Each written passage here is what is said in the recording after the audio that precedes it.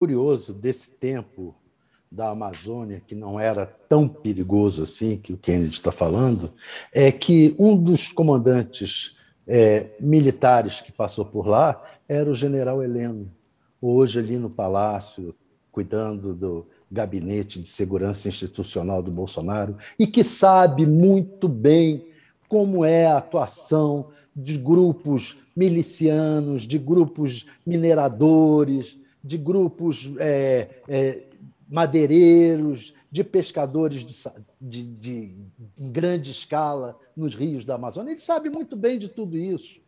É, a verdade é que não se fez nada porque não se quis fazer nada e porque o Bolsonaro é, decidiu, fez a campanha dele dizendo que não iria ser feito nada na Amazônia, que estava liberado para todo tipo de, de, desse tipo de gente ir lá.